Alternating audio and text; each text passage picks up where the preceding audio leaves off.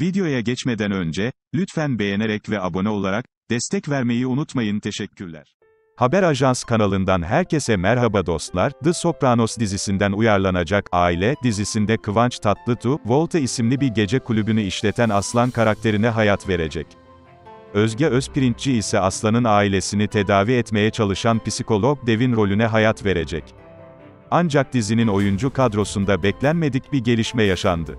Gazeteci Birsen Altuntaş'ın haberine göre, yapımcı Kerem Çatay daha önce, Yakamoz S-245 dizisinde partner olan Kıvanç Tatlıtuğ ile Özge Özpirinççi'yi bir kez daha bir araya getirmekten vazgeçti.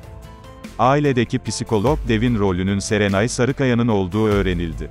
Heyecanla beklenen aile dizisinin ne zaman başlayacağına dair henüz resmi bir açıklama yapılmadı. Olduğu zaman sizlere aktaracağız.